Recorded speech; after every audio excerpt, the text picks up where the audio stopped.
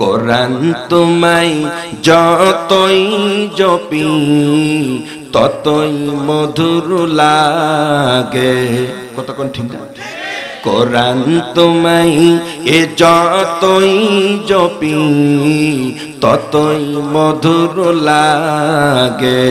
কোরআনে যে এত মধু, কে জানি তো আগে? কোরআনে যে এত মধু, কে জানি তু আগে কতই মধুর লাগে। এই কোরআনের রাজ বাংলার জমিনে কায়েম হোক, কোরআন দিয়ে আল্লাহর জমিন চলু মুসলমান হয়ে আমরা সবাই চাই কি চাই না? একটু হাত তুলে আল্লাহকে দেখান, চাই কি চাই না?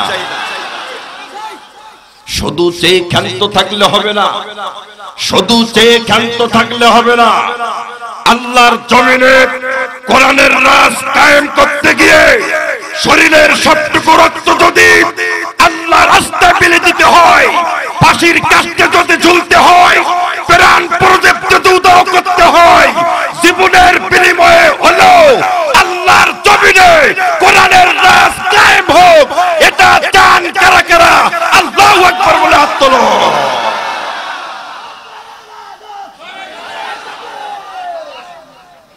আল্লাহ পাক আমাদের প্রত্যেকের হাত দুখানা কবুল করুন, সকলে বলুন আমি একটু হাত তুলে কোন আমি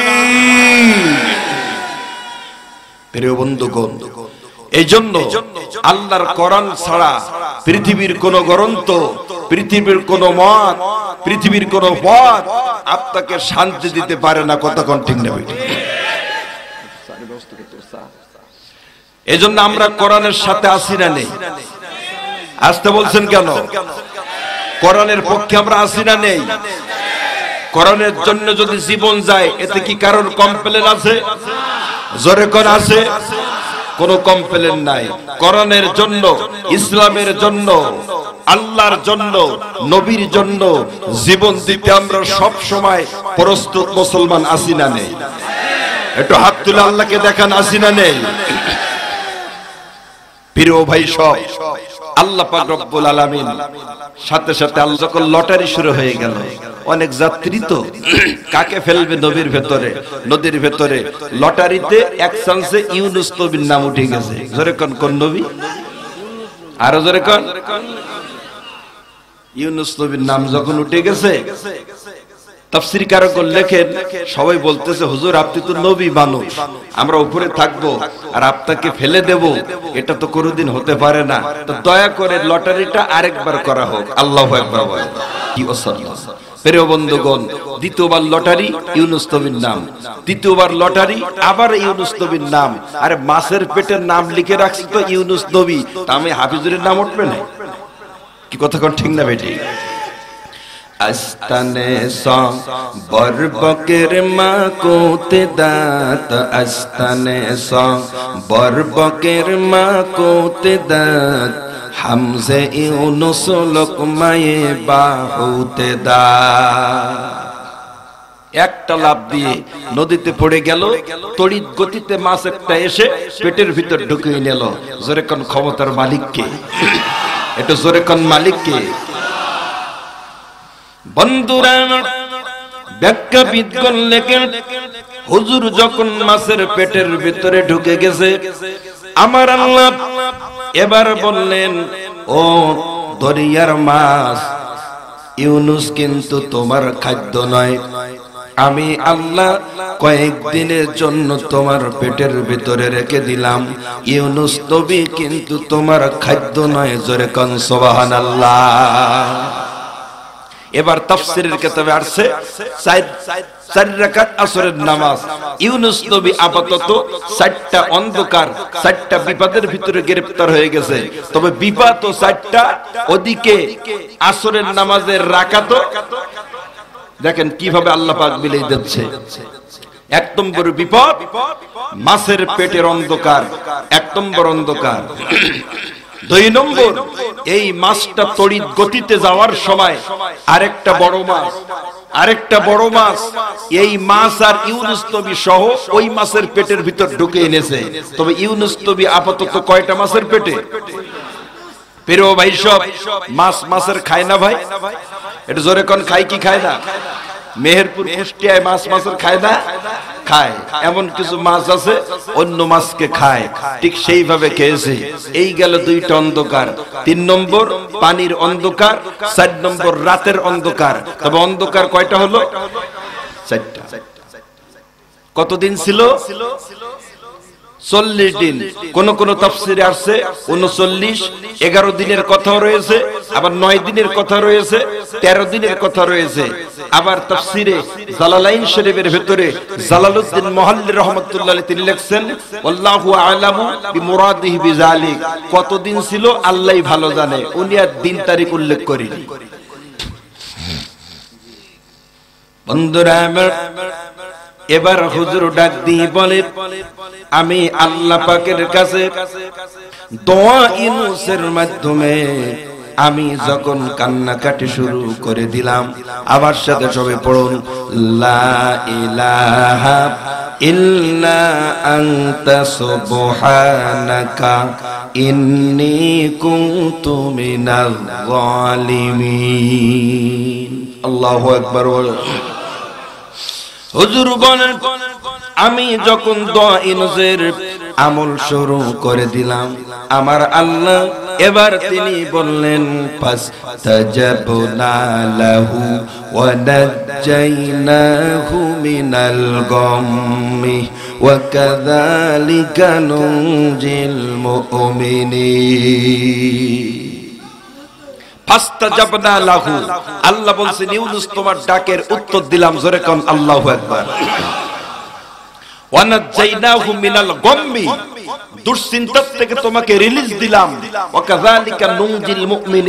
আমি আল্লাহ এইভাবে রক্ষা করি, জোরে কোন, আল্লাহু আকবার। এজন্য আমরা যারা মুসলমান আমরা যারা ঈমানদার, সব সময় ভরসা করব কার উপরে, জোরে বলেন। একটু হাত তুলে কোন, কার উপরে? আল্লাহ পাক রব্বুল আলামিন বলেন ওয়া মান ইয়াতাওয়াক্কাল আলাল্লাহি ফাহুয়া হাসবুহু।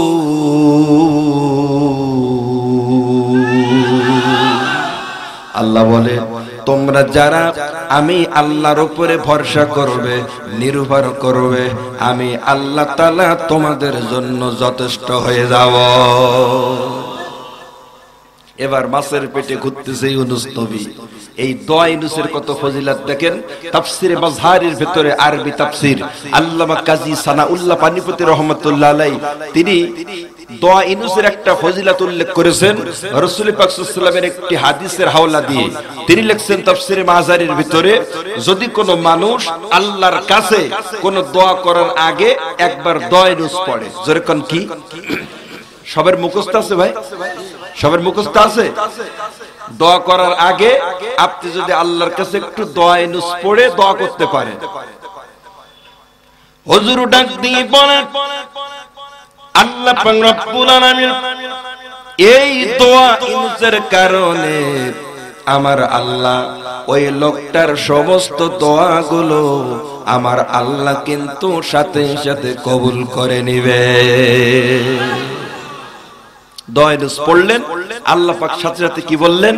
ফাস্তাজাবনা লাহু ওয়া নাজ্জাইনাহু মিনাল গাম্মি ওয়া কাযালিকা নুনজিল মুমিনিন।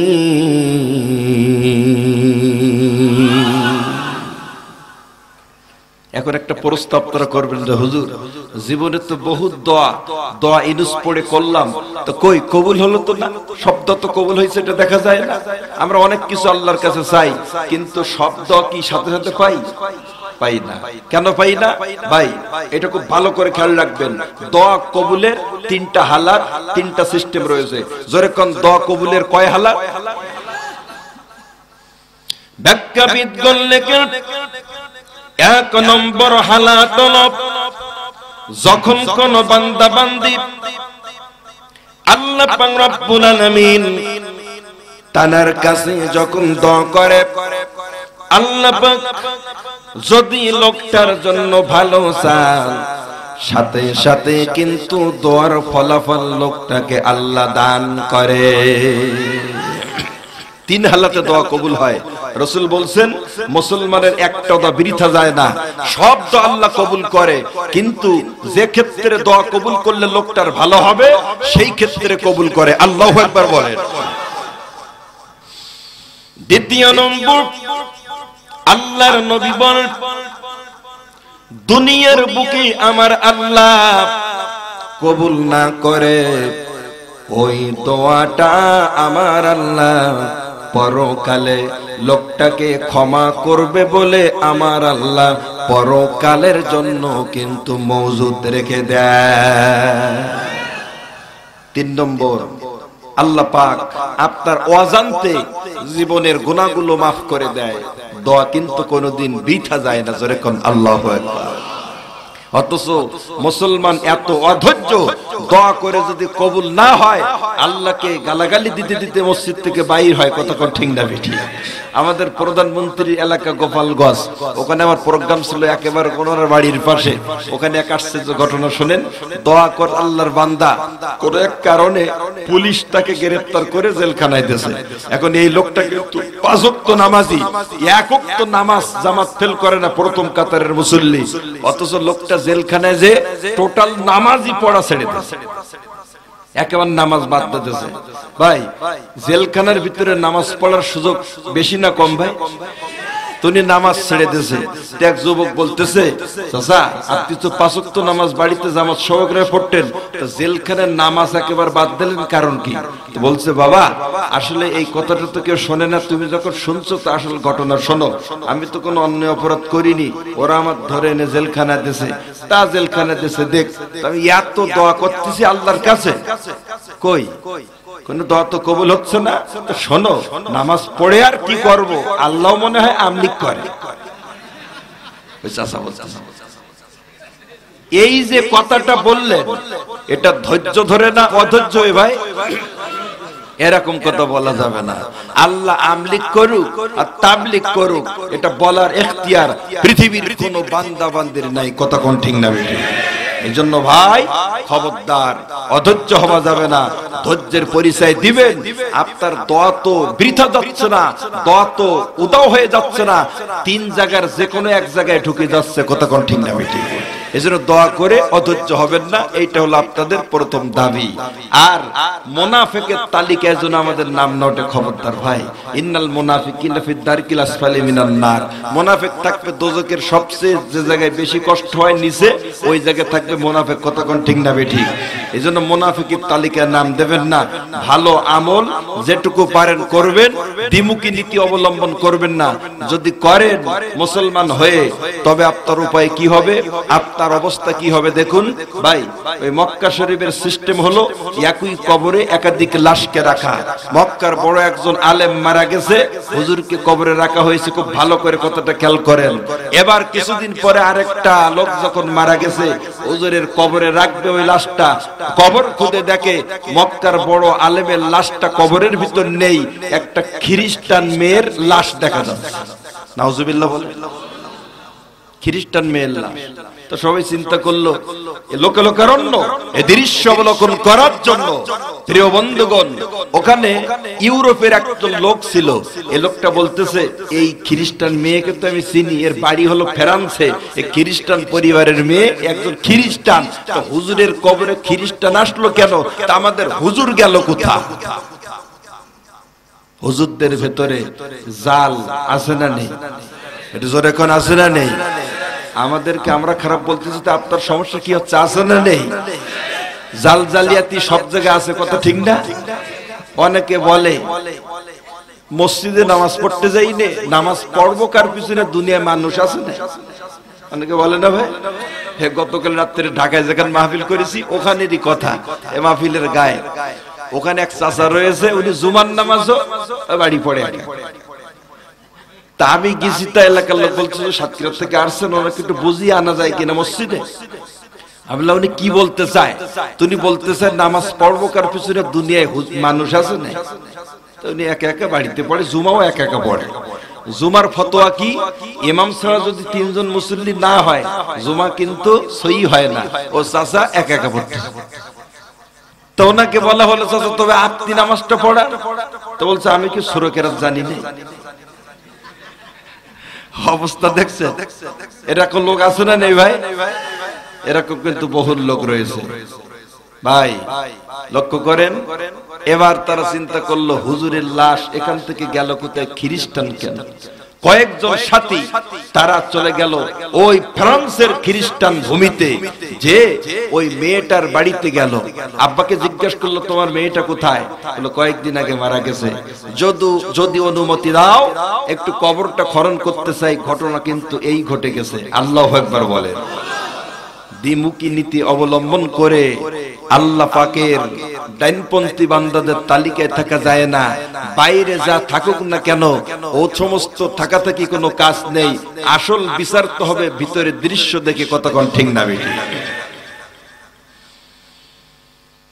বন্ধুরা, ব্যাখ্যাবিদ লেখেন এবার যখন কবর খনন করা হলো, কবর খনন করার পরে কয়েকজন সাথী তারা বলে, আমরা দেখতে পাইলাম, আমাদের মক্কার বড় হুজুর, উনি কিন্তু খ্রিস্টান মেয়ের কবরের ভিতরে হাজির হয়ে গেছে। একবার জোরে জোরে বলুন, নাউজুবিল্লাহ। লেখাপড়া শিখলে কবু জ্ঞানী নাই হয়। জ্ঞান একটা অন্য জিনিস, আল্লাহ যারে দেয়। জ্ঞান কিন্তু আলাদা জিনিস। লেখাপড়া শিখলে কিন্তু জ্ঞান হয় না।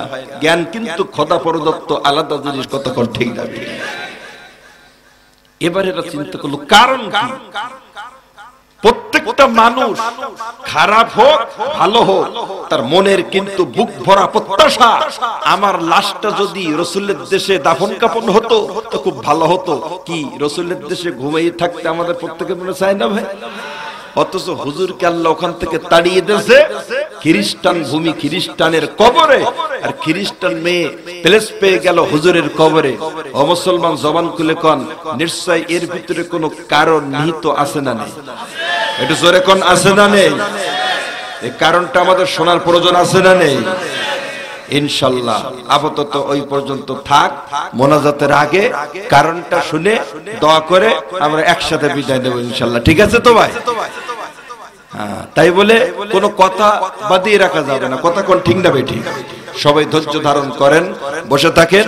ইনশাল্লাহ আমরা এই পাঁচক্ত নামাজের রাকাতগুলো ভিন্নতার কারণকে একটু শেষ করে নেই।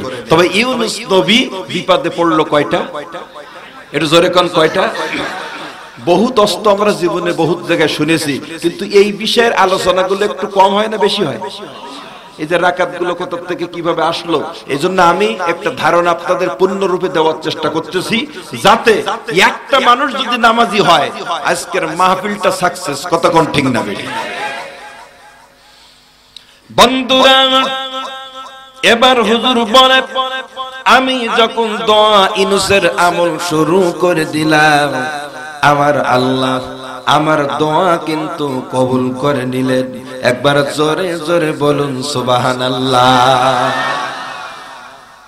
হুজুরের দোয়া কবুল হয়ে গেল। এবার আল্লাহ মাছকে ডাক দিয়ে বললেন, ও নদীর মাছ তুমি আর বিন্দু পরিমাণ দেরি না করে আমার নবী হজরতে ইউনুস আলাইহিস সালাম তাকে খুব তাড়াতাড়ি নিয়ে নদীর কিনারায় সহি সালামতে উঠিয়ে দা আল্লাহ পারে কি পারে না? আরও জোরে কোন পারে কি পারে না? কদরে কুদরত দারি হর সে কাহি উকুনি মুর্দারা জিন্দা কুনি তু জিন্দারা বেজা কুনি। মুর্দারা জিন্দা কুনি তু জিন্দারা বেজা কুনি। সবকিছু আল্লাহ পারে। সবকিছু পারেন কে? সবকিছু কিন্তু আল্লাহ পারে সবকিছু আল্লাহ পারে। এজন্য আল্লাহ বলছেন আল্লাহু লা ইলাহা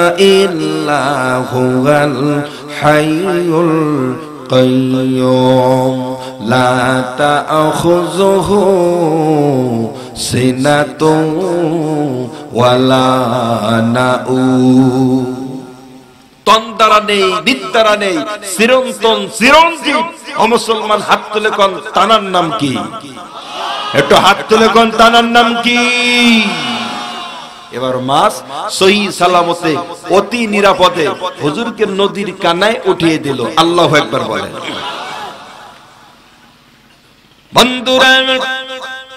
এবার হুজুর ডাক দিয়ে বলে, মাছের পেটটিকে আমি যখন উপরে উঠে গেলাম, আমি তখন দেখতে পাইলাম, আপনার কি ব্যস্ত হয়ে যাচ্ছেন না আমি দেখতে পাইলাম তখন চলছে আসরের সময়। কোন সময়? তখন ছিল আসরের সময়। হুজুর বলে, আমি তখন চিন্তা করলাম, এখন চলছে আসরের সময়। আমার আল্লাহ পাক আমাকে চারটা বিপদ থেকে যখন রিলিজ দিয়েছে, এখন আমি চার নামাজ আদায় করে আমার মালিককে আমি খুশি করতে চাই।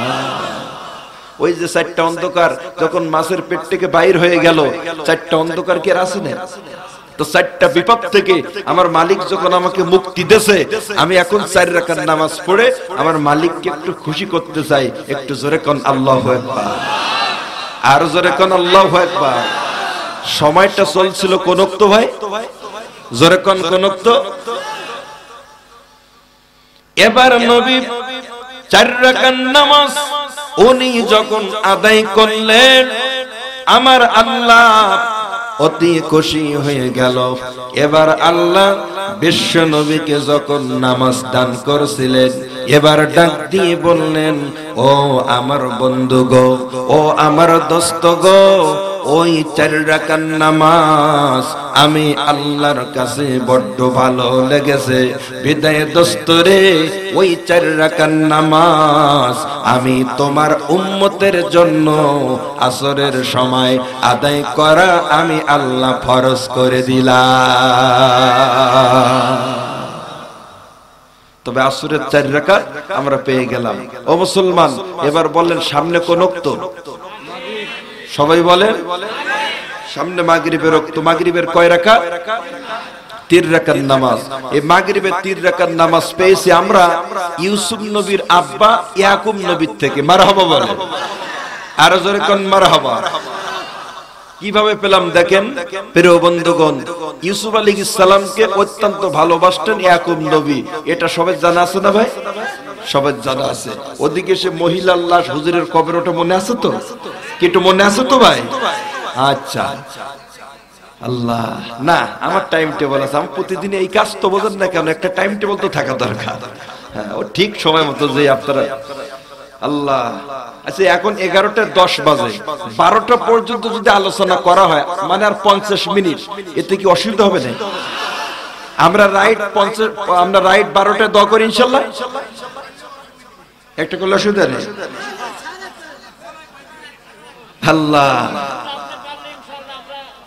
আচ্ছা ঠিক আছে ইনশাল্লাহ আপনারা সারা রাত থেকে আমি চলে যাবেন ঠিক আছে ইনশাল্লাহ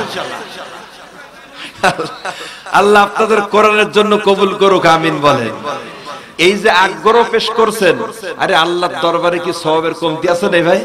এই যে আগ্রহ পেশ করছেন, আল্লাহ পাক এতে আপনার সারা রাত কোরআন শোনার সব দিয়ে দেবে, লেপের ভিতরে ঘুমের ভিতর দিয়ে সবার আল্লাহ বলো। বোকারির একটা হাদিস শোনেন মাঝখানে, সব কথা সব দিন আসে না। কথা ঠিক না ভাই? বোকারি শরীফ হাদিসের ভিতরে আসছে, যখন কোন মানুষ ভালো কাজের নিয়ত করে, সাথে সাথে আল্লাহ তার সব দেওয়ার ব্যবস্থা করে দেয়। সোমান আল্লাহ বলেন। আর যখন কোন মানুষ খারাপ কাজের নিয়ত করে, কাজ যতক্ষণ না করে গোনা লেখা হয় না। তবে বোঝা গেল, খারাপ কাজের নিয়ত করলে গোনা হয় না। যতক্ষণ কাজ না করা হয়, ভালো কাজের নিয়ত করলে সব লেখা হয়, কাজ শুরু করুক আর না করুক। সোমান আল্লাহ বলেন এই যে প্রকাশ করেছেন আগ্রহ, সারা রাত কর শুনব কোরআন শুনব, আপনি ঘুমিয়েও আল্লাহর পক্ষ থেকে কোরআন সহ সব পেয়ে যাবেন। জোরে কান, আল্লাহ একবার আর জোরে কান, আল্লাহ একবার মাগের বেতির রাকাত। ইউসুফ আলী ইসলামকে অত্যন্ত ভালোবাসতেন, ইয়াকুব আলী ইসলাম কতক্ষণ ঠিক? এখন বাকি ভাইরা কি চিন্তা করল? একে যদি আব্বার চোখের আড়াল করা যায়, আব্বার ভালোবাসাগুলো আমাদের উপর চলে আসবে। ভাই, তাই কি হয়? জোরে হয়? কোনোদিন হয় না। এবার তারা কুয়ার ভিতর ফেলে ফেলে দিল। কুয়ার ভিতর থেকে পর্যায় ক্রমে যাইতে যাইতে এক সময় ইউসুফ নবী হয়ে গেল মিশর দেশের বাদশাহ। সোমান আল্লাহ বলেন। এ ক্ষমতার মালিক কি? আরও জোরে বলেন। ছিল কুয়ার ভিতরে, গোলাম বলে বিক্রি করল মিশরের বাজারে। হয়ে গেল এখন ওই দেশের, ওই মিশরের প্রধানমন্ত্রী। আল্লাহ পাক সবকিছু পারে কি পারে না? জোরে কন, পারে কি পারে না? দিনের পরে আসে যে রাত ওই রাতের পরে আবার দিন। সব কিছুরই মালিক আমার রব্বুল আলামিন। সব কিছুরই মালিক আমার রব্বুল আলামিন। একবার জোরে জোরে বলেন মালিককে। এবার চল্লিশ বছর চলে গেল। তাফসিরে মারিফুল কোরআনের আসছে, চল্লিশ বছর হয়ে গেল, পিতা পুত্রের সাথে কোনো যোগাযোগ নাই, পরীক্ষা চলতেছে কার তরফ থেকে? বন্ধুরা, এবার চল্লিশ বছর যখন হয়ে গেল কোন কোন ব্যাখ্যাবিদগণ লেখেন? আশি বছর হয়ে গেল। এখানে একটু মতনক্য রয়েছে। আশি বছর, হুজুর কিন্তু ইউসুফ নবীর জন্য চব্বিশ ঘণ্টা কানতে কানতে দুইটা চক্ষু কিন্তু হুজুরের অন্ধ হয়ে গেল। হজরতে ইউসুফ আলাইহিস সালামের জন্য পিতা কানতে কানতে দুইটা চক্ষু কিন্তু বাবার অন্ধ হয়ে যায়। খুঁজে পাচ্ছে না, আশি বছর হয়ে গেছে। কোন যোগাযোগ নেই। আছে না গেছে, কোন যোগাযোগ নেই। আশি বছর পরে আল্লাহ বললেন, ইউসুফ, কোন তো চলতেছে, মনে আছে তো ভাই আশি বছর পরে আল্লাহ বল ইউসুফ, তুমি তোমার পরীক্ষায় উত্তীর্ণ হয়েছো, তুমি তোমার ইমতেহানে পাশ করছ, এবার তোমাদের পিতা পুত্রের সাক্ষাৎ মোলাকাতের টাইম হয়ে গেছে যেরকম আল্লাহ এবার আল্লাহ বলে ইউসুফ, তুমি যার্রা পরিমাণ দেরি না করে তোমার আব্বার কাছে, তোমার কাছে যে জান্নাতি জামা রয়েছে। ও ইউসুফ, ওই জান্নাতি জামা তোমার আব্বার কাছে তুমি পাঠিয়ে দাও। কারণ তোমার আব্বা তোমার জন্য কানতে কানতে দুইটা চক্ষু কিন্তু বাবার অন্ধ হয়ে গেছে। তোমার কাছে যে জান্নাতি জামা বিদ্যমান, ওই জামাটা তুমি আব্বার কাছে পাঠিয়ে দাও। ওই জামাটা যখন তোমার আব্বার চোখের উপরে রাখা হবে। ফারতাদ্দা বাসিরা, এটা কিন্তু কোরআনের আয়াত। ফারতাদ্দা মানে ফিরে পাবে। বাসিরাতুন মানে দৃষ্টি শক্তি জামা রাখতে দেরি হবে।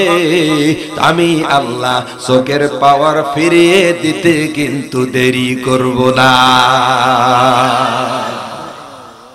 আচ্ছা মিশর থেকে কেনানের দূরত্ব কতটুকু ছিল? ওকানা রাইসুল মুফাসসিরিন হযরত ইবনে আব্বাস, তিনি লেখেন, মিশর থেকে কেনানে যাইতে তৎকালীন 8 দিন টাইম লাগতো 8 দিন সময় এবার ইউসুফ ইসলামের খবর যখন পেয়ে গেল যে আমার আব্বার চোখ বন্ধ হয়ে গেছে, জামা চোখে ধরলে আব্বার চোখ ভালো হয়ে যাবে। ওনার বড় ভাইয়ের নাম ছিল এহুদা। কি নাম? সবাই এহুদাকে বললেন, জামাটা লও, আব্বার উদ্দেশ্যে রওনা দাও। আব্বার চোখে জামাটা ধরবে, চক্ষু ভালো হলে আব্বা সহ ফ্যামিলিকে নিয়ে আমার এখানে চলে আসবে। আল্লাহ একবার বলেন।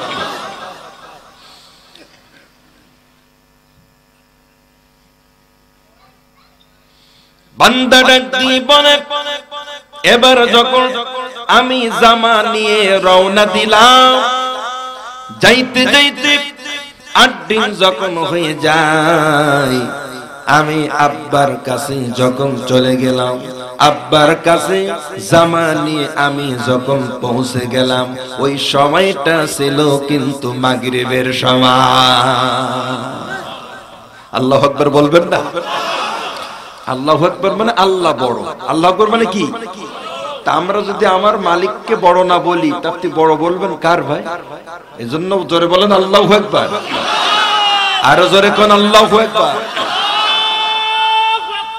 বন্ধুরা, এবার যখন মাগরিবের সময় হয়ে গেল, আল্লাহর বান্দা তখন ডাক দিয়ে বলে, আব্বার কাছে যখন জামা নিয়ে চলে যায় আমার আব্বা তখন আমাকে ডাক দিয়ে বলে, বাবা, এহুদারে, দুইটা চক্ষু ইউসুফের জন্য কানতে কানতে আমার কিন্তু অন্ধ হয়ে গেছে। ও বাবা, বলো তুমি, আমার ইউসুফ দুনিয়ার বুকে জিন্দা আছে না আমার ইউসুফ মারা গেছে? ইউসুফ কি বেঁচে আছে দুনিয়ায়? তখন এহুদা বলতেছে, আব্বা, চিন্তার কোনো কারণ নাই। আপনার সন্তান ইউসুফ যদিও আশি বছর অতিবাহিত হয়ে গেছে, নামাজের অজানা তথ্য। যেরকম কেতাবের নাম কি? নামাজের অজানা তথ্য এই কেতাবের ভিতরে হাদিসের রেফারেন্স দিয়ে এই যা কথা আমি শোনাচ্ছি, এই কেতাবের ভিতর রয়েছে। আরও অনেক কেতাবের ভিতর কথাগুলো রয়েছে বন্ধুরা আমার, এবার যখন এই কথা বললেন, তখন বলছেন আব্বা চিন্তা করার দরকার নেই। ইউসুফ নবী দুনিয়ার বুকে সুস্থ অবস্থায় জীবিত রয়েছে যেরকম আল্লাহ আকবার। আরও বলা হলো আব্বা চিন্তার কোন কারণ নাই। শুধু ইউসুফ দুনিয়ার বুকে জিন্দা নয়। আল্লাহ রব্বুল আলামিন হযরতে ইউসুফ আলাইহিস সালামকে কূপ থেকে উঠানোর পরে ওই মিশর দেশের বাদশাহী আল্লাহ পাক তাকে দান করেছে। আব্বা, বর্তমান ইউসুফ আলাইহিস সালাম আপনার সন্তান ওই মিশরের বাদশা সুবহানাল্লাহ বলে। আল্লাহ পারে কি পারে না? আর জোরে কোন, পারে কি পারে না? সব কিছু পারে আমার আল্লাহ।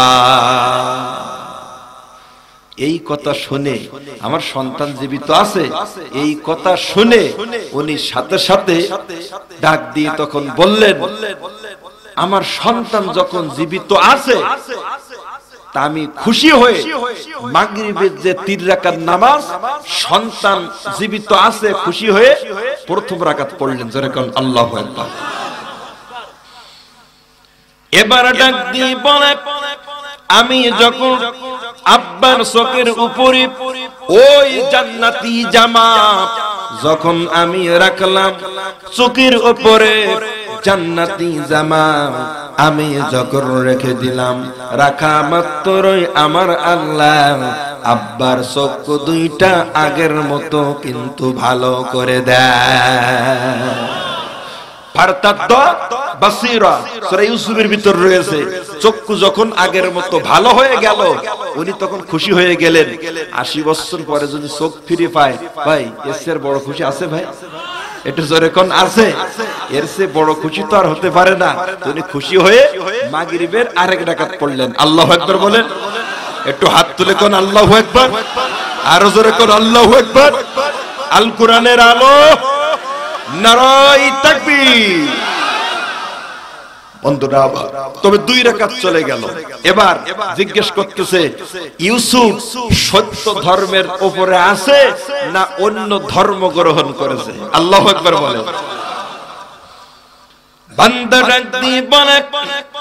আব্বা চিন্তার কোনো কারণ নাই। হজরতে ইউসুফ আলাইহিস সালাম সত্য ধর্মের ওপরে ইব্রাহিমী ধর্মের ওপরে এখনও পর্যন্ত বহাল রয়েছে। শুধু তাই না, তার হাতে হাত দিয়ে বহুত মানুষ কিন্তু আল্লাহ পাকের তরফ থেকে হেদায়েত পেয়েছে। এই খবর শুনে উনি আরেক রাকাত পড়লেন। তো কয় রাকাত হলো ভাই? তিন কারণে তিন রাকাত নামাজ উনি আদায় করলেন কোন সময়? মাগরিবের সময়। আল্লাহ পাকের কাছে এই নামাজ তিন রাকাত খুব পছন্দ হলো। আল্লাহ একবার এবার আল্লাহ বিশ্ব নবীর উপরে যেদিনে আল্লাহ নামাজ ফরজ করছিলেন, এবার ডাক দিয়ে বললেন, ও আমার হাবিব, ও আমার মোহাম্মদ বন্ধু ওই নামাজ যেটা মাগরিবে আদায় করা হয়েছিল, ওই নামাজ আমি আল্লাহ পাকের কাছে কিন্তু বড্ড ভালো লেগেছে। বিদায় দোস্তরে, ওই তিন রাকাত নামাজ আমি তোমার উম্মতের জন্য মাগরিবের সময় আদায় করা আমি আল্লাহ ফরজ করে দিলাম। সেইভাবে চলতেছে আজও সেইভাবে রয়েছে। কেমন পর্যন্ত কত কিছু পরিবর্তন হবে, এই তীর রাকাত কেউ পরিবর্তন করতে পারবে না। প্রিয় বন্ধুগণ, তো দেখেন, সন্তানের জন্য কানতে কানতে দুইটা চক্ষু অন্ধ হয়ে গেছে। তবে একটা পিতা, একজন মাতা, তার সন্তানকে কত ভালোবাসে। পৃথিবীর বুকে প্রত্যেকটা মানুষ, প্রত্যেকটা মানুষকে ভালোবাসে, স্বার্থ হাসিল করার জন্য। কিন্তু বিনা স্বার্থে একজন ভালোবাসে, সেই হচ্ছে আমার জনম দুঃখিনী মা আর আমার পিতা, জোরে কন আল্লাহ অথচ পিতা মাতার নাফারমান সন্তান দুনিয়ায় আছে না এটা জোরে কন, আছে না নেই? খুব হুঁশিয়ার। এখান থেকে আমি আপনাদের পাঁচটা মিনিট পিতামাতার সম্পর্কে ছোট্ট একটু কথা বলতে চাই। কারণ বর্তমান পিতামাতাকে কষ্ট দিচ্ছে পিতামাতার নাফরমান সন্তান দিন দিন বৃদ্ধি হচ্ছে কতক্ষণ ঠিক না বেঠিক পাঁচটা মিনিট আমি পিতামাতার কেন্দ্র সম্পর্কে একটু বলব, যদি অনুমতি দেন তো বলব ইনশাল্লাহ আর লাস্টে কিন্তু একটু মহিলা সম্পর্কে কিছু কথা শুনতে হবে। কারণ মহিলা সমাজ কিন্তু নষ্ট হয়ে গেছে। ওরা যদি বিপদে চলে, আপনার আল্লাহ কিন্তু বেশিক্ষণ টিকি থাকবে না। কতক্ষণ ঠিক না বেঠি? যদিও আপনাদের কুষ্টিয়া, মেহেরপুর এলাকার মহিলারা ভালো, কিন্তু আমাদের সাতক্ষীরাদের মহিলাদের অবস্থা তো কিছু বলা লাগে। কতক্ষণ ঠিক না বেঠি? বিশাল বড় বড় রাস্তাগুলো নষ্ট করছে টেরাকে মহিলাগুলোর মাথা খাচ্ছে বেরাকে কত কর? আরও জোরে কর। বিশাল বড় বড় রাস্তাগুলো নষ্ট করছে টেরাকে, মহিলাগুলোর মাথা খাচ্ছে বেরাকে গ্রামগুলো খাচ্ছে সমিতি, কিছু কিছু মসজিদ খাচ্ছে কমিটি। আছে না নাই? আরও জোরে কর। এদিকে আছে নাই? সব জায়গা আছে আল্লাহ। এ যে সব জায়গা আছে তার প্রমাণ নেন। আমি এই আমাদের সাতক্ষীরাই এই কথাটা এক জায়গায় বলছি। এখন আমি তো আমার মতো বলছি। এই প্রোগ্রাম শেষ হবার পরে, দেখেন, ওই মসজিদের সভাপতি সাহেব, উনি আমার হাত ধরে এক সাইটে নিয়ে গেছে যেখানে কেউ নেই। যে আমার কানে কানে বলছে, হুজুর, আজকে ওয়াস এরকম করলেন কেন? আমার নামে কেউ কিছু বলছে না? সোরের মন? তা আমার তখন খুব খারাপ লাগল। আমার খুব আমি বললাম, শোনেন, বলুক আর না বলুক, এই যে আপনি ডাইকিয়ে জিজ্ঞেস করলেন আমার কাছে, আপনি যে দু নম্বর, আমি তো এমনি টের পেয়ে গেছি। তখন বলছে, হুজুর হাতে কিছু মনে করবেন না, আমি এমনি শুনলাম। তা আমি বললাম, আমি এমনি বললাম, আবার খাবার ব্যবস্থা দিন ওই লোকের বাড়ি। আজকে চিন্তা নেই, আজকে খাইয়ে উঠেছি। কারণ সারাদিন গাড়িতে ছিলাম আর আরিসায় খুব মানে ভিড়। জাম অত্যন্ত জাম, এর জন্য আমি সারাদিন খাবার টাইম পাইনি খাইয়ে উঠেছি ইনশাল্লাহ। এজন্য আপনারা পারলে আমি আজকে পারব ইনশাল্লাহ। আল্লাহ। আল্লাহ কবুল করুক, আমিন বলেন। ভাইরা ভাই, তবে আমরা পাঁচটা মিনিট সময় একটু পিতামাতার সম্পর্কে বলি। শরীফ, দ্বিতীয় খণ্ড, বিয়াল্লিশ পৃষ্ঠা, দুই লাইন পরে বর্ণিত হাদিস আবু হুরায়রা থেকে। রসুল পাক সাল্লাম বলছেন, খুব ভালো করে হাদিসটা খেয়াল করবেন, আমি কিন্তু রেফারেন্স দিয়ে বলছি। রসুল পাক সাল্লাম বলছেন যে, আল্লাহ রসুল বলছেন যে দুনিয়ার বুকে এই করোনা, এই মহামারী, গজব, ডেঙ্গু, এগুলো কেন আসে? দেড় হাজার বছর আগে রসুল কি বলে গেছে দেখেন ভাই? কত চমৎকার বক্তব্য, আমার নবীর বক্তব্য, আল্লাহ আকবর বলে। রসুল বলতেছেন আবাহু শেষ জামানায় মানুষ পিতাকে সরিয়ে দেবে।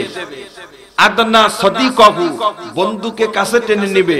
আক্কা উম্মাহু, আর মায়ের সাথে নাফরমানি করবে এইগুলো যখন মানুষ করবে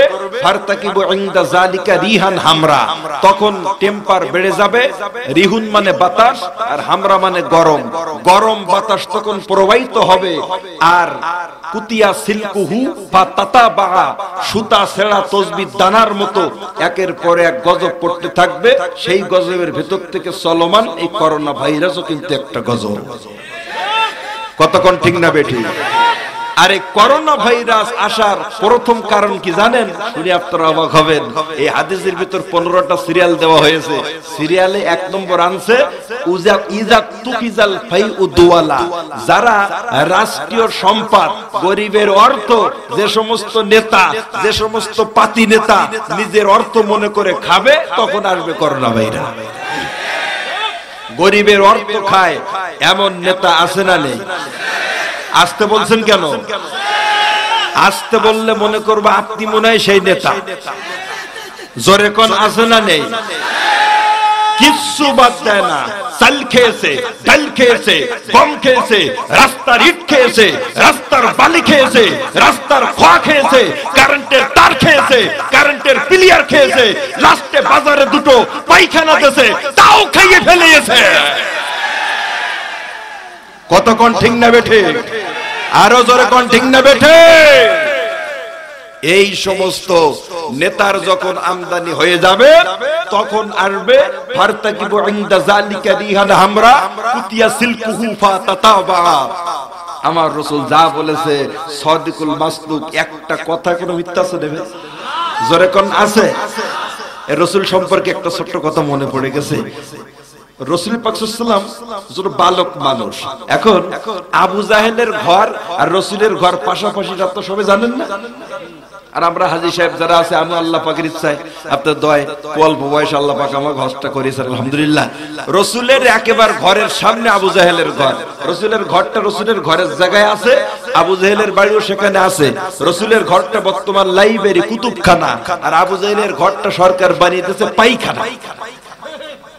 তবে রসুলের ঘর কুতুবখানা, আবু জাহেলের ঘর? হাসিদের পাইখানা আল্লাহ, এই আবু জাহেল গাদার পৃষ্ঠ দেশে ঘুরতে ঘুরতে বহুত দূর চলে গেল। পাহাড়ের পাড়ে দেশে ছোট্ট একটা বালক দেখা যাচ্ছে। চিন্তা করল, কে? পাশে চলে গেল পাশে যেই দেখে আমার বাড়ির পাশে সেই এতিম মোহাম্মদ সাল্লাল্লাহু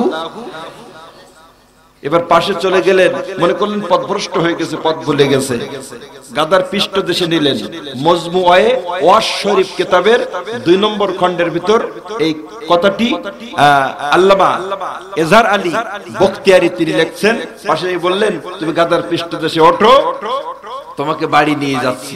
গাদার পিছনে উঠে গাদাকে সামনে নিয়ে যাওয়ার জন্য চেষ্টা করলেন। গাদা কিন্তু এক কদম সামনে পা উঠাতে রাজি হয় না, জোরে কন, আল্লাহ বান্দা ডাক দিয়ে বলে, আমি তখন চিন্তা করলাম, গাদা কেন সামনে যায় না? হঠাৎ করে আমার আল্লাহ, তিনি কত ক্ষমতার অধিকারী। সঙ্গে সঙ্গে আমার আল্লাহ গাদার জবানটা কিন্তু মানুষের মতো চালু করে দেয়। গাদার জবান চালু হয়ে গেছে। গাদা স্পষ্ট ভাষায় মানুষের মতন কথা বলতেছে, জোরে কন, আল্লাহ একবার এবার ডাক দিয়ে বলে, আবু জাহেল রে, যতই তুমি আমাকে মারধর করো না কেন, আমি সামনের দিকে যাব না। কারণ তুমি জানো না তোমার পিছনে কে বসে রয়েছে? যে নবী, সমস্ত নবীদের নবী, সমস্ত নবীদের লিডার, সমস্ত নবীদের ইমাম, পৃথিবীর সমস্ত শ্রেষ্ঠ মানুষ। এই নবী যতক্ষণ সামনে না যাবে, আমি গাদা এক কদম কিন্তু সামনে যাব না। এই ঘটনাটা বলা আমার উদ্দেশ্য না। আমি বলতে চাচ্ছি কি দেখেন? আমার উদ্দেশ্য ভাই, আপনারা এতক্ষণ যাব আমি বললাম, আপনারা কি বললেন? আবু জাহেল একেবারে প্রথম থেকে জানতো কি জানতো না যে রসুল সত্য নবী? জানতো না? একদম গড়ার ইতিহাস কিন্তু তার জানা ছিল। কথা ঠিক না? বান্দা ডাক দিয়ে বলে, এবার যখন আমি গাদার পৃষ্ঠ দিশ থেকে নিচে নামার পরে বিশ্ব নবীকে সামনে দিলাম, সঙ্গে সঙ্গে গাদা চলা শুরু করে দিল। আল্লাহ একবার বলেন, গাদা চলতে চলতে সামনের দিকে যখন যাইতেছে, আবু জাহেল তখন চিন্তা করল আবার কেমন নবী হবে? এ যদি শ্রেষ্ঠ নবী হয়, তবে আমার মাতব্বারে যাবে কোথায়? তার মাথা কিন্তু হ্যাং হয়ে গেছে। চিন্তা করল কারণ কি? কি? শুনলাম? এর বাড়ি তো আমার বাড়ির পাশে আমার মতো বাড়ি যাবে কোথায়? রসুলকে ঘরের সামনে নামাই দিয়ে এক টান দিয়ে চলে গেছে আব্দুল মোত্তালে রসুলের দাদার কাছে। যে বলছে যে আব্দুল মোত্তালে এই ছেলেটা কিন্তু মোহাম্মদ কিন্তু শ্রেষ্ঠ একজন নবী হবে। সুবহানাল্লাহ। তুমি জানলে কীভাবে? তো বলতেছে, এ আমার মুখের কথা না, বালক মোহাম্মদের মুখের কথা না। যে গাদাটা আমি ব্যবহার করি, লোকের গাদাও না।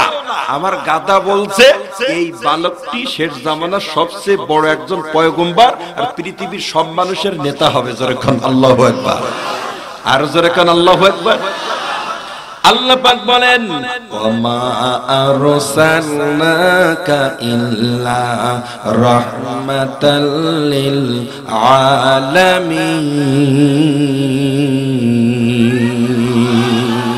শত হুজুদাস রাহমাতুল লিল আলামিন মসজিদে ও শুধু হামারো এ জমিন। সুবহানাল্লাহ। সাইয়্যিদুল কওনাইন খতমুল মুরসালিন। সাইয়্যিদুল কওনাইন খতমুল মুরসালিন। আখির আবদু বুয়াদ ফখরুল আউয়ালিন। আকে আমদ নৌফল কুমেরাজে ও আম্বিয়া ও আউলিয়া মোহতাজ ও কবিগণ বিশ্বনবীর গুণকীর্তন রসুলের প্রশংসা করেছেন। আল্লাহ একবার বলেন। এবার ভাই, খুব জোরে একটা আওয়াজ হবে। আমার সাতক্ষীরা, সুন্দরবন রয়্যাল বেঙ্গল টাইগার, বাঘের মতো একটা আওয়াজ দেবেন আপনারা। যদি কতটা মনোপুত হয়, যদি আপনাদের মনের সাথে কতটা খাটে। ও ভাই, আবু জাহেল প্রথম থেকে জানতো, বিশ্ব নবী, আল্লাহর রসুল, একজন শ্রেষ্ঠ নবী, মোহাম্মদের মতো শ্রেষ্ঠ মানুষ দুনিয়ায় কেউ নেই। কতক্ষণ ঠিক না বেটি কিন্তু এটা জানার পরও আবু জাহেল রসুলকে জানার পরও মানত না কেন? নিজের মাতব্বারিয়ার ক্ষমতা চলে যাবে তাই। কথা কোন ঠিক না আর জোরে কোন ঠিক না বেঠে? এখান থেকে পরিষ্কার ভাবে আমরা বুঝতে পারলাম, আবু জাহেল ভালো করে জানতো, ভালো করে বুঝতো যে আল্লাহ রসুল হলো শ্রেষ্ঠ রসুল। রসুল হচ্ছেন শ্রেষ্ঠ পয়গম্বার। এর পরও রসুলকে কষ্ট দিত, রসুলের সাথে বেয়াদবি করত। ভালোটা জানার পরও একটাই কারণ, সারা জীবন দুনিয়ায় ক্ষমতার মাতব বাড়িতে টিকে থাকবে, তাই কথা কোন ঠিক না বেটি? অনুরূপ ভাবে মুসলমান, দুনিয়ার বুকে বর্তমান যারা আলেমদেরকে কষ্ট দিচ্ছে, দুনিয়ার বুকে বর্তমান যারা আলেমদের সাথে বেয়াদবি করতেছে, এরা ভালো করে জানে আলেমদের মতো পৃথিবীর বুকে শ্রেষ্ঠ সন্তান দ্বিতীয় কেউ নেই। কিন্তু এরা জানার পরও কষ্ট দিচ্ছে একটা কারণে, সারা জীবন দুনিয়ার বুকে ক্ষমতার মাতব বাড়িতে টিকে থাকবে তা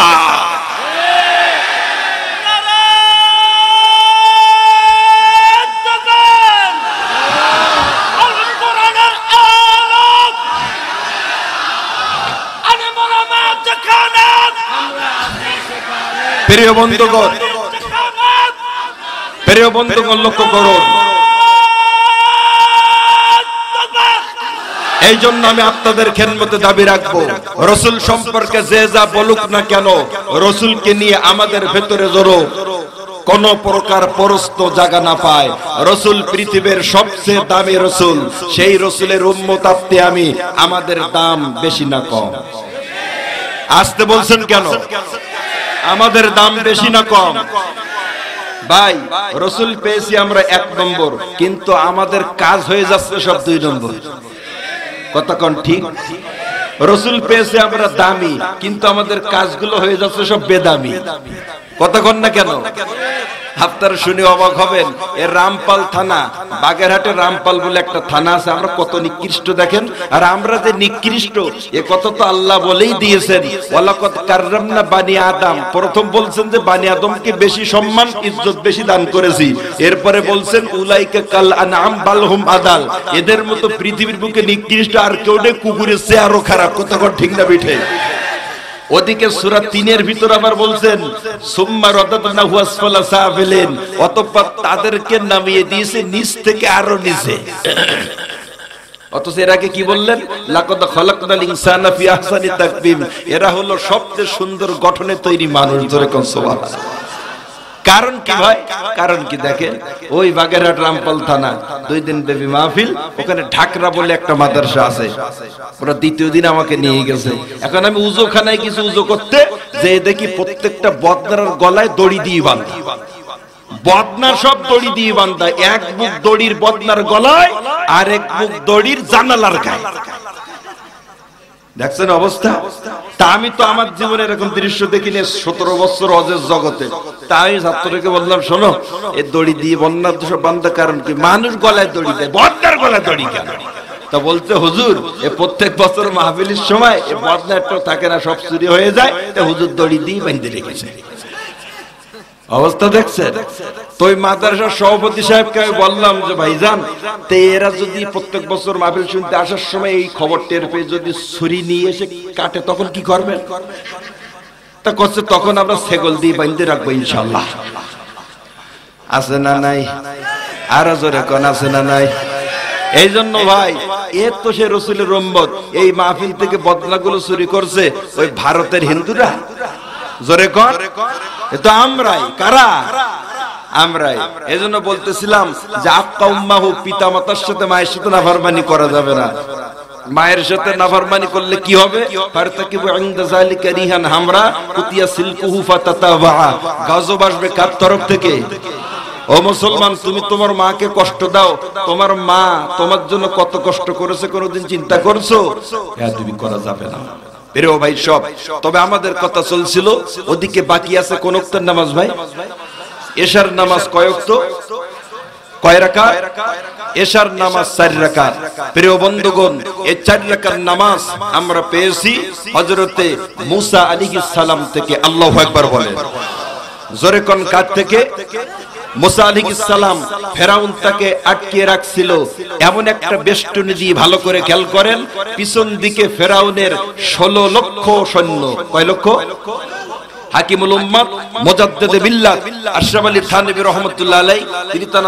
ভিতরে লিখছেন, ফেরাউনের বাহিনী পিছনে ছিল 16 লাখ। কত? আল্লাহ 16 লাখ। ডাইন দিকে সুউচ্চ পাহাড়। বাম পাশে সুউচ্চ পাহাড়। সামনের দিকে দরিয়া, মুসা যাবে কোন দিকে? বলেন, আল্লাহ পাক সবকিছু পারে কি পারে না। এবার যখন তাড়া দেওয়া শুরু করল সংক্ষিপ্ত ভাবে বলতেছি, তাড়িতে তাড়িতে সামনের দিকে যাচ্ছে, বারবার বলতেছে কওমেরা, হুজুর, ফেরাউনের সৈন্য তো আমাদের ধরেই ফেলল। একটা কথা খালি। হুজুর বললেন কওয়ালা কাল্লা কখনো নয়। আল্লাহু আকবার বলে। ইন্না রাব্বি সাইহাদি, আল্লাহ পাক তিনি অসিরেই আমাদের পথ দেখিয়ে দেবে। আল্লাহ আমাদের অসিরেই পথ থেকে দেবে। কোন চিন্তার করার কারণ নেই।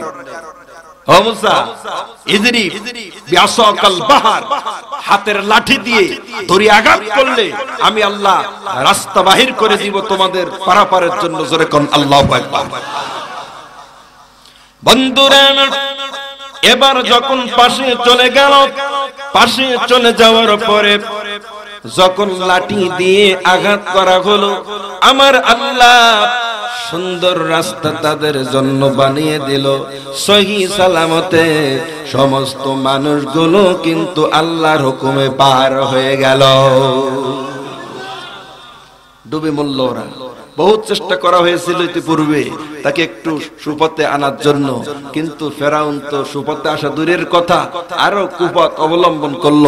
প্রিয় ভাই সব, লক্ষ্য করুন, ইতিপূর্বে মাগরিবের পরে যখন বক্তা আলোচনা করতেছিল, শুনতেছিলাম ফেরাউনকে চারটা জিনিস আল্লাহ পাক অদা দিয়েছিলেন যে মুসলমান হলে তোমাকে দান করব।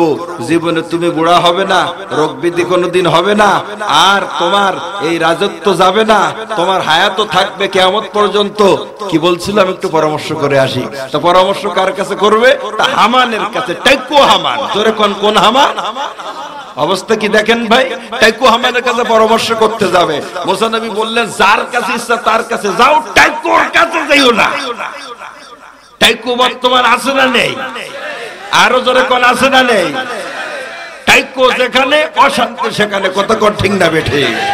যতই টাইকো যেখানে থাকুক না কেন, আল্লাহর কোরআনের সঙ্গে যারা দিয়েছে পাল্লা, তাদের আল্লাহ উড়িয়ে দিয়েছে কল্লা। পৃথিবীর বহুত মানুষ কোরআনকে দুনিয়ার মুখ থেকে চির চরবের মতো মুছে দেওয়ার জন্য, নিচ্ছিন্ন করে দেওয়ার জন্য আপ্রাণ চেষ্টা করতেছে। অবন্ধুগণ যতদিন পর্যন্ত আকাশে জ্বলবে সূর্য, ততদিন পর্যন্ত কোরআনের আলোচনা পৃথিবীর বুকে যতদিন জ্বলবে, যতদিন চলবে আকাশে সূর্য, ততদিন চলবে আল্লাহর কোরআনের কথা, তাফসীর পৃথিবীর বুকে কতক্ষণ ঠিক না বেঠে? বন্ধুগণ, এখান থেকে কি বুঝতে পারলাম? হামানের কাছে যখন পরামর্শ নেওয়ার জন্য গেছে, আরেকজনের কাছে যাবে, বিবি আসিয়ার কাছে। আল্লাহ একবার বলেন। বিবি আসিয়ার কাছে যখন গেছে একসাথে বলল, চিন্তার কোনো কারণ নেই, এরকম অফার কিন্তু সবসময় পাওয়া যায় না। খুব তাড়াতাড়ি যে আপনি মুসলমান হয়ে যান। আল্লাহ একবার বলেন। বলল, আমি যাওয়ার সময় কাছ থেকে একটু পরামর্শ করে এরপরে যাব। হাত দোকান ধরি, ওর কাছে যে নাতি, ও তো জীবনে ওর ভালো পরামর্শ দেয়নি কত ঠিক না বেটি। দেখেন, এবার হামানের কাছে চলে গেছে, যে বলছে, আমি একটু মুসলমান হতে চাই, এই এই অফার দেওয়া হয়েছে। হামান তখন বলছে, কথা তো বেশি বলা লাগে না, একটা কথা কথার মতো হলে হয়ে যায়। বলতে শোনেন, আপনি এতদিন ছিলেন খোদা। জোরে কি? আচ্ছা আল্লাহ বাদ দিয়ে যারা বলে এগুলো খোদা। আচ্ছা আপনারা বলেন তো ওগুলো খোদা না কাদা? আরও জোরে কর কবিলে কবিলে, মা বতো একে জুদাতা কবিলে কবিলে, মা বতো একে জুদাতা কিসি কা হো বলতা কিসি কা সফা থা এক একজনের ঘরে এক এক রকম খোদা থাকতো তৎকালীন। আপনারা বলেন তো, আল্লাহ তো আমাদের একজন। কথা ঠিক না ভাই? তা আল্লাহর পরে যে যা বলুক না গেল ওগুলো খোদা না, ওগুলো সব সলিড, নির্ভেজাল কাদা। কথা কোন ঠিক না এবার ফেরাউন বলতেছে আমি যখন এই প্রস্তাব দিলাম, হামান তখন বলতেছে, শোনেন, আপনি খোদার থেকে বান্দা হবেন। এই দৃশ্য আমার চর্ম চোখে দেখে সহ্য করা আমার জন্য সম্ভব না। যদি আপনি খোদার থেকে বান্দা হতে চান, আমাকে আগে জবাই করেন, তারপরে হয় ভাই, এসের কথা হয়। ইয়ে তখন চিন্তা করলি, এত ভালোবাসে আমার। চিন্তার কারণ নেই আমি হব না। যা আছি তাই। জোরে কন্যা মুসলমান, বাঘের মতো একটা আওয়াজ আমি আপনাদের মুখ থেকে শুনতে চাই। এখান থেকে আমরা দিবালোকের মতো স্পষ্ট, একেবারে ক্লিয়ার বুঝতে পারলাম। যত খারাপ ছিল তার চেয়ে বেশি খারাপ করেছে, পাশে থাকা টেকু হামান কত কঠিন না বেটি। তবে আমরা বুঝতে পারলাম, ফেরাউন যত খারাপ ছিল, এর বেশি খারাপ করেছে। এর পাশে থাকা টেকু হামান ঠিক ততরূপ বর্তমান জামানায় দুনিয়ার বুকে যারা নেতৃত্ব দিচ্ছে, বর্তমান জামানায় যারা দুনিয়ার বুকে রাজত্ব চেয়ারে বসে আছে, এরা যত খারাপ, এর সে এদের বেশি খারাপ করতেছে। এদের পাশে থাকা টেকু হামানের দল।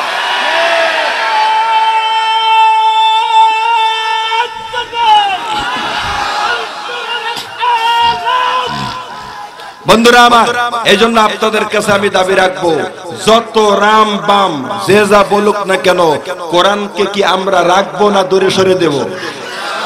আরও জোরে কন। কোরআনকে আমরা কি আসলে ভালোবাসি? কোরআন কি আমাদের কাছে আছে? না, নেই।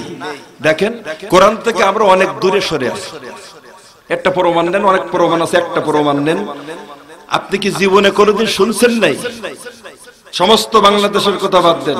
আপনাদের কুষ্টিয়া মেহেরপুর কোন স্কুল, কোন কেজি স্কুল কিংবা কোন প্রাইমারি স্কুলে সকালে মাইক খাটিয়ে ডাক দিছে যে তোমাদের বাচ্চাগুলো তোমরা দ্রুত স্কুলে পাঠিয়ে দাও, এক্ষুনি পড়া শুরু হবে। কোন স্কুলে কি এই কথা বলছে রে ভাই? প্রত্যেকটা মসজিদে একই তালে তালে বাচ্চাগুলো তাড়াতাড়ি মসজিদে পাঠিয়ে দেন, এক্ষুনি মক্তবে পড়া শুরু হবে। ভাই, ওখানে টাকা লাগে না, এমনিতে ঘর ভর্তি, এখানে টাকার পরও কোরআন শিখতে মুসলমানের বাচ্চা আসে না। আপনারা বলেন, কোরআন থেকে দূরে আসেন না কোরআন কাছে আসেন আপনারা বললে হবে। কথা কন ঠিক? আল্লাহ।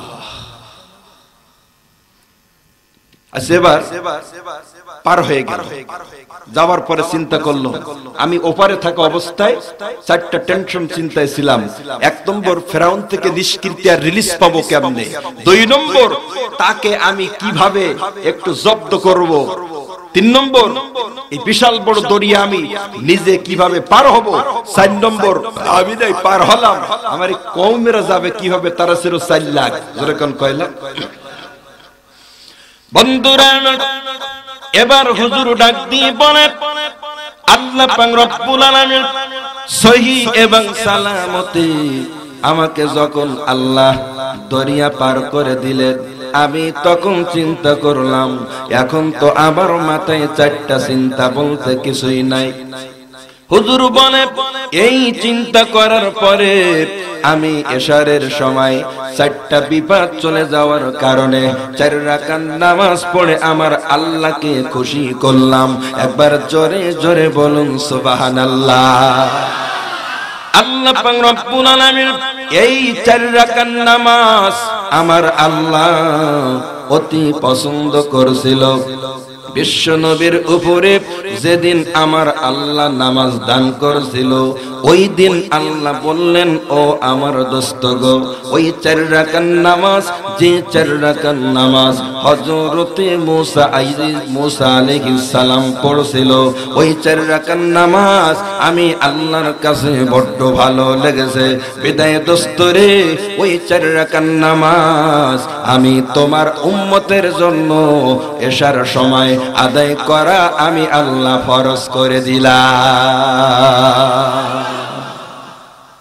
তবে পাঁচক্ত নামাজের রাকাতগুলো কীভাবে আসলো, এটা আমি আপনাদের শুনিয়ে দিছি। এবার বাকি আছে কোন কথা ভাই? খ্রিস্টানের মেয়ে। ওইটা ছাড়া তো আর কিছু বাকি নেই। আচ্ছা এদিকে আমার বারোটা ইনশাল্লাহ বেজে গেছে। আমি এক্ষুনি দর দিকে যাব। তার পূর্বে ছোট্ট একটা স্লোগান আমি আপনাদের কাছে চাই। এখনও পর্যন্ত আপনারা ময়দান ছাড়েননি, ময়দানে আছেন। এটা আমরা এলাকাবাসীকে একটু জানাতে চাই। দুইটা হাত তুলে বাঘের মতো গর্জন দিয়ে আমার সাথে সবাই জবান খুলে বলেন আন্নারে তাকবীর ভাই, একটু জোর হবে না ভাই? আপনাদের গলায় জোর আছে না নেই? আরও জোরে কোন আছে না নেই? এই জন্য আমি আরেকবার আপনাদের বলছি, একটু জোরে দেন ভাই। আপনাদের ভোট কি হয়ে গেছে নেই? কত তারিখ? হ্যাঁ? ও আচ্ছা আচ্ছা চেয়ারম্যান আছে। এই জন্য একটু জোরে আওয়াজ দেন ভাই, একটু জোরে আওয়াজ দেন। আল্লাহ আকবার মানে আল্লাহ বড়। আল্লাহ আকবার মানে কি? তো এ কথা কি ওই ইহুদা খ্রিস্টান নাসারা তারা বলবে না মুসলমান বলবে? তাই যদি হয়ে থাকে ওটা হাত তুলে খুব জবান খুলে বলুন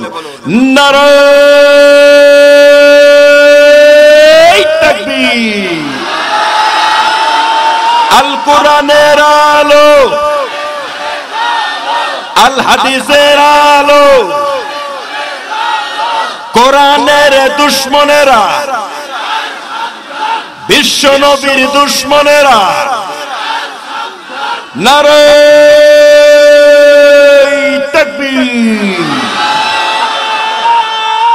আল্লাহ পাক আলামিন প্রত্যেককে কবুল করুন, সকলে বলুন আমিন। পৃথিবীর বুকে স্বার্থ ছাড়া কেউ কাউকে ভালোবাসে না, কিন্তু মা যেটুকু ভালোবাসে সন্তানকে বিনা স্বার্থে জোরে কোন আল্লাহু আকবার। আর জোরে কোন আল্লাহু আকবার। একটু বাঘের মতো উত্তর দিয়ে একটা উত্তর আপনাদের কাছে শুনতে চাই। প্রিয় ভাই সব, ছোট্ট একটা পেটের ভিতরে মা তার সন্তানকে জাগা দিয়ে জাগা দিতে পারল, অথচ পাঁচতলা বিল্ডিং এ মায়ের একটু জায়গা হয় না। এইরকম নাফরমান আছে না নেই? জোরে কোন আছে না নেই? বিজ্ঞানীরা, তারা রিসার্চ করতে সক্ষম হয়েছে ডেলিভারির সময় একটা মহিলা কি পরিমাণ কষ্ট পায়। একটা সুস্থ মানুষের একই সাথে দেহের বাইশখানা হাড় যদি ভাঙা হয়, জোরে কান কয়টা হাড়? এই বাইশটা হাড় ভাঙ্গার যন্ত্রণা যত বেশি, একজন মহিলা ডেলিভারি করার সময় সন্তান চেয়ে বেশি কষ্ট সে মহিলা পায়। চিন্তা করছেন কিছু? অথচ এই স্ত্রী পাওয়ার পরে এই সমস্ত সন্তানগুলো মায়ের সাথে নাফারমানি করে। ও ভাই, স্ত্রী মারা গেলে বিয়ে করে আবার স্ত্রী পাওয়া যাবে। শরিয়াতে বাধা আছে? জোরে কর দ্বিতীয় নম্বর, আবার যদি মারা যায়, আবার কিন্তু বিয়ের সুযোগ রয়েছে। এই রকম ভাবে হাজার বার যদি মারা যায় হাজার বার সুযোগ আছে না না কিন্তু ভাইজান, আপনার জনম দুকনি মা, যদি একবার মারা যায়, পৃথিবীর সমস্ত মানুষ মিলে আপনাকে একটা মা দিতে পারবে না। পারবে ভাই, পারবে। মাকে স্ত্রীর সাথে পরামর্শ করে মাকে নিয়ে জঙ্গলের ওপারে, নদীর ওপারে জঙ্গল, স্বামী, স্ত্রী সারা জীবন সুখী শান্তিতে থাকবে। ঘুমান্ত মাকে গভীর জঙ্গলে রাত্রে নিয়ে গেল। আকাশের ভেতরে টিপ টিপ করে বৃষ্টি হচ্ছে। মেঘাচ্ছন্ন আকাশ বজ্রপথের ধ্বনি। জঙ্গলে মাকে রেখে স্বামী, স্ত্রী যে চলে আসবে, আল্লাহ তো কুদরতের মালিক। হঠাৎ করে মায়ের ঘুম ভেঙে গেল। আল্লাহ একবার বলে। বন্ধুরা, এবার মা ডাক দিয়ে বলে আমি তখন দেখতে পাইলাম আমার পাশ দিয়ে আমার ছেলে এবং আমার বৌমা চলে যাইতেছে। আমি বুঝতে পারলাম তারা আমাকে জঙ্গলের বাগের মুখে উঠিয়ে দিয়েছে, সুখে শান্তিতে তারা থাকবে বলে। ও ভাই দেখুন মা কি জিনিস। এই বলার পরে এবার মা তখন দুইটা হাত তুলে আল্লাহর কাছে তখন অস্ত্র সিক্ত ধরনের ডাক দিয়ে বলে, আকাশের মালিকিরে রে আমার সন্তান আমাকে বাগের মুখে উঠিয়ে দিয়েছে, শান্তিতে বউকে নিয়ে ঘর করবে বলে। মাওলা, আমি বাগের মুখে চলে যাই, এতে আমার কোনো জাররা পরিমাণ দুঃখ নাই। ও মাওলা, আকাশে বজ্রপাতের ধ্বনি, টিপ টিপ করে বৃষ্টি। ও মাওলা, তোমার কাছে আমি দোয়া করি, আমার কলিজার টুকরা সন্তানকে তুমি, সহি সালামতে আমার বাবাকে তুমি বাড়ি পৌঁছে দিও।